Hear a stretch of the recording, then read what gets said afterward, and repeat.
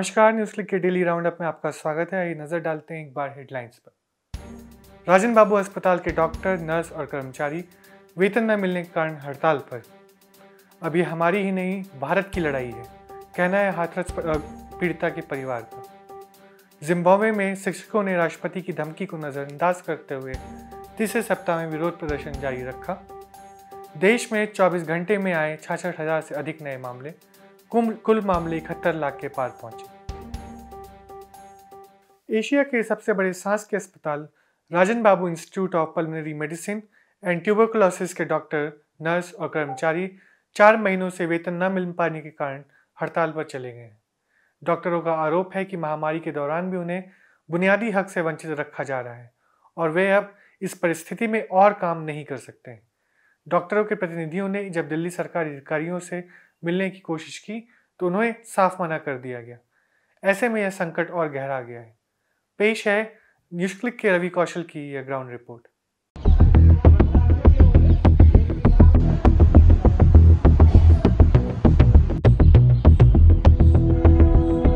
हम आज यहाँ इसलिए इकट्ठे हुए हैं कि हमारी hospital, Rajan Babu TB hospital, जो कि नॉर्थ एमसीडी के अंदर आता है, हम लोगों को लगभग तीन, चार महीने से सैलरी नहीं दी गई है।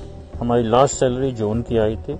चार महीने से ना डॉक्टर्स, ना नर्सेस, ना ही सफ़ाई कर्मचारी, कोई भी हेल्थ वर्कर की सैलरी नहीं आई है। मैं अट्ठाईस साल से इस हॉस्पिटल में काम कर रही हूँ, लेकिन पाँच साल से जो सैलरी का यहाँ ये चल रहा है ना ड्रामा, कि हमें अक्टूबर, नवंबर, दिसंबर, जनवरी, फरवरी, हमेशा एक ना एक बार स्ट्राइक पे बैठना पड़ता है, तब हमें पे मिलती है। और लेकिन इस बार इस बार तो आप सोचिए, हमें जून मई की पे, अगस्त में मिली, और उसके बाद से अभी तक कोई पे नहीं। आप सोचिए हमारे बच्चों की फ़ीस, स्टडी लोन, कार की ईएमआई होम लोन, सब चीज़ों की ईएमआई जा रही है।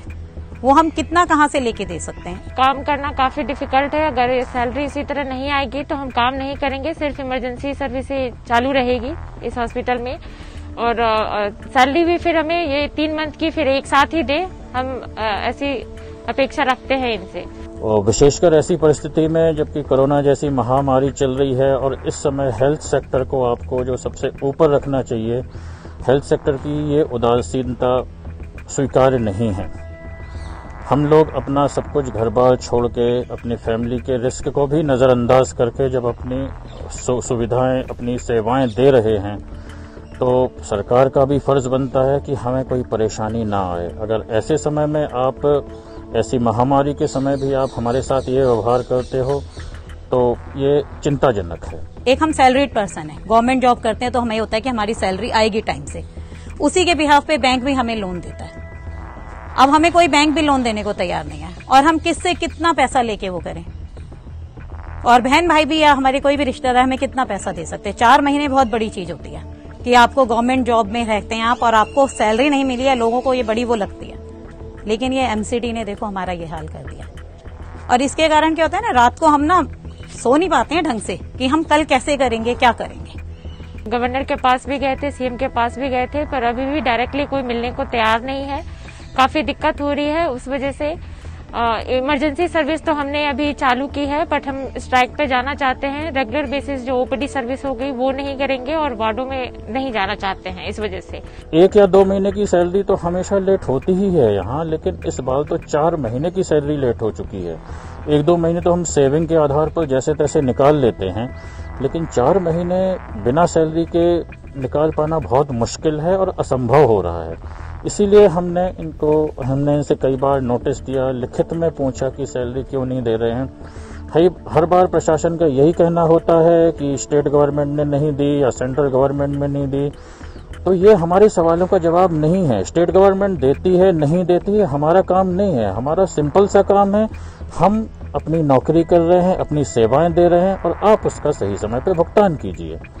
ये कोई नहीं होता कि सेंट्रल गवर्नमेंट ने नहीं दी, कि स्टेट गवर्नमेंट ने दी, कि एमसीडी ने नहीं दी। हम पॉलिटिशियंस नहीं हैं, आप लोग पॉलिटिशियंस हैं। आपका काम है, आप एक दूसरे से जवाब जवाब मांगिए क्लियर करिए।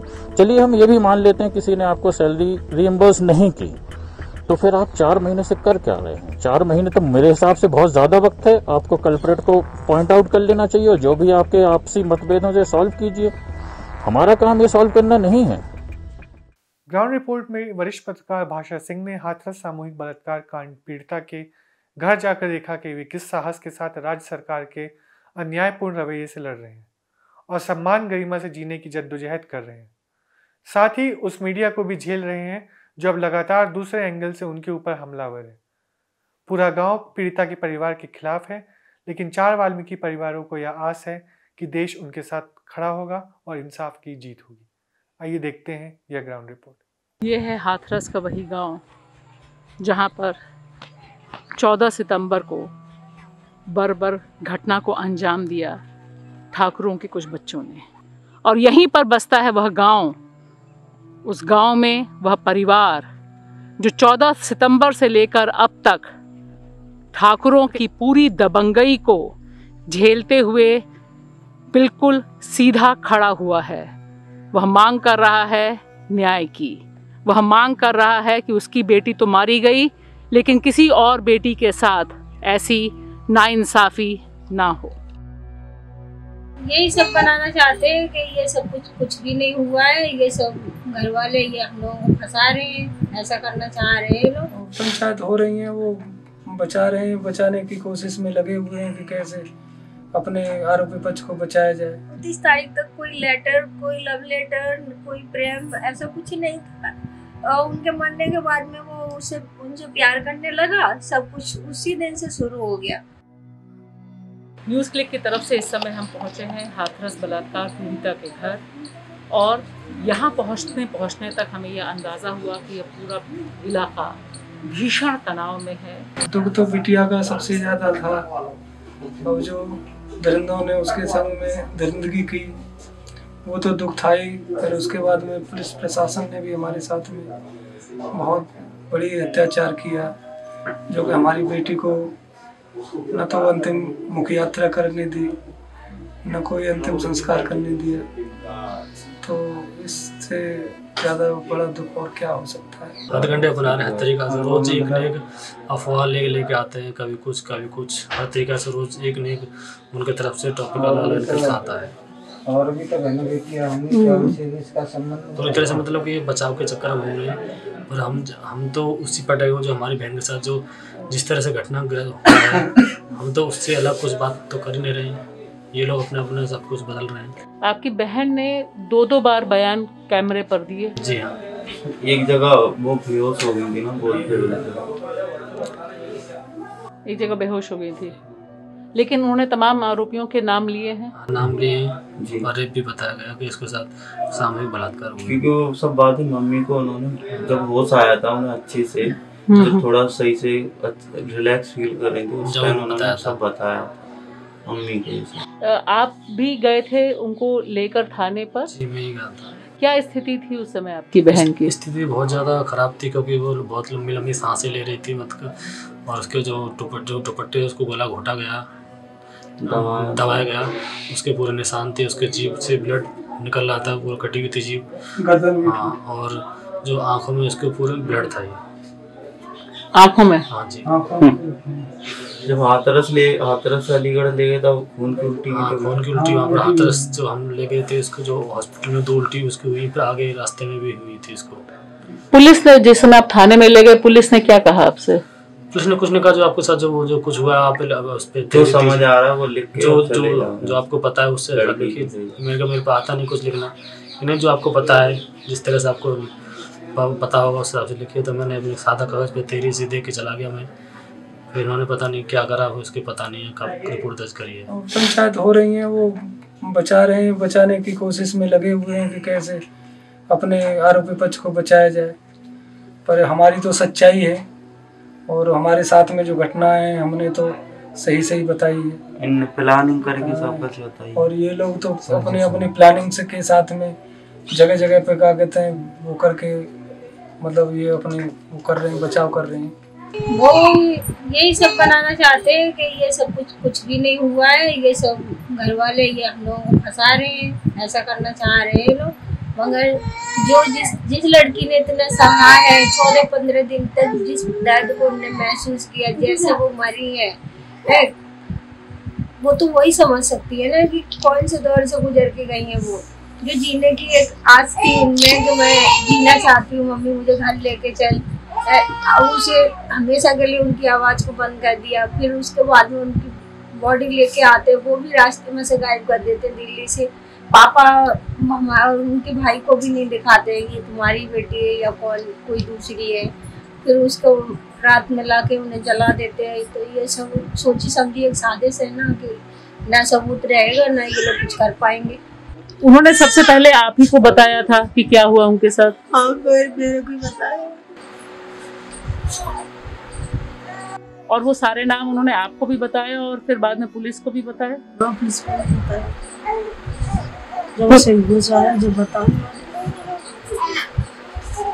पुलिस को उन्होंने साफ़ साफ़ बताया। था आपने भी उसी समय पुलिस को बता दिए थे सारे नाम? मैं तो बाहर निकाल दी तुम बाहर जाओ। लड़की से बात तो बाहर निकाल हम्म, बात करने आते लड़की से? हम्म। तो मुझे बाहर निकाल दिया फिर करी सब सब बोली जिम्बाब्वे के पब्लिक स्कूल के शिक्षकों का हड़ताल सोमवार 12 अक्टूबर को तीसरे सप्ताह में प्रवेश कर गया है। इस सप्ताह के शुरू में राष्ट्रपति इमरसन मोगावा ने 28 सितंबर को स्कूलों को फिर से खोलने के बाद काम पर लौटने से इनकार करने वाले शिक्षकों को धमकी दी थी। ऐसी ही धमकी शिक्षा मंत्री ने पहले भी दी थी। राष्ट्रपति ने बुधवार को कहा मैं आप सभी को विश्वास दिलाता हूँ कि शिक्षकों द्वारा मांगों के लिए सरकार को कभी मजबूर नहीं किया जाएगा। ड्यूटी के लिए रिपोर्ट करने में विफल रहने पर उन्हें लगेगा कि वे हमें वह करने के लिए मजबूर करेंगे जो हम चाहते हैं। नहीं, हम इस बात पर बहुत राज करते हैं। उन्होंने कहा, हम नियम कानून लागू करेंगे और काम करने वालों को भुगतान किया जाएगा। जो लोग घर पर हैं, उन्हें काम पर नहीं माना जाएगा। उन शिक्षकों के लिए जो अपने काम के लिए आने का खर्च भी वहन करने में असमर्थ हैं होने की बात करते हैं, ऐसे में राष्ट्रपति की धमकी कपटपूर्ण है। इन शिक्षकों ने दो वर्षों के अंतराल में अपने वेतन में लगभग 550 यूएस डॉलर से 30-35 डॉलर तक की गिरावट देखी है। केंद्रीय स्वास्थ्य मंत्रालय द्वारा आज 12 अक्टूबर सुबह 8 बजे जारी आंकड़ों के अनुसार 24 घंटों में कोरोना के छाछठ नए मामले दर्ज किए गए हालाँकि इसी बीच कोरोना से पीड़ित इकहत्तर मरीजों को ठीक भी किया जा चुका और साथ ही साथ पाँच हज़ार छः सौ तिरालीस सक्रिय मामले कम हुए। लेकिन कोरोना से पहले 24 घंटों में 816 मरीजों की मौत हो चुकी है। देश में अब कोरोना के मामलों की कुल संख्या इकहत्तर लाख बीस हज़ार पाँच सौ अड़तीस हो गई है, जिनमें से अब तक एक लाख नौ हज़ार एक सौ पचास मरीजों की मौत हो चुकी है। स्वास्थ्य मंत्रालय की ताज़ा जानकारी के अनुसार रिकवरी रेट में आज दशमलव एक नौ फ़ीसदी की बढ़ोतरी के साथ रिकवरी रेट छियासी दशमलव तीन छः फ़ीसदी हो गया है यानी कुल संक्रमित मरीजों में से अब तक इकसठ लाख उनचास हज़ार पाँच सौ पैंतीस मरीजों को ठीक किया जा चुका है। इसी के देश, साथ देश में अब सक्रिय मामलों की संख्या घटकर आठ लाख इकसठ हज़ार आठ सौ तिरपन हो गई है। आईसीएमआर द्वारा जारी आंकड़ों के अनुसार अब तक आठ करोड़ अठहत्तर लाख बहत्तर हज़ार तिरानबे सैंपल की जाँच की गई है, जिनमें से नौ लाख चौंतीस, चौरानबे हज़ार आठ सौ इक्यावन सैंपल की जाँच बीते चौबीस घंटों में ही हुई है। न्यूज़ क्लिक के डेली राउंडअप में इतना ही और इन खबरों को विस्तार में देखने के लिए आप जा सकते हैं। न्यूज़ क्लिक की वेबसाइट पर हमें फॉलो कीजिए ट्विटर, फेसबुक, इंस्टाग्राम पर। सब्सक्राइब कीजिए यूट्यूब पर और साथ ही साथ देखिए हमारी Hindi website Hindi dot news click dot in. देखते रहिए न्यूज़ क्लिक। धन्यवाद।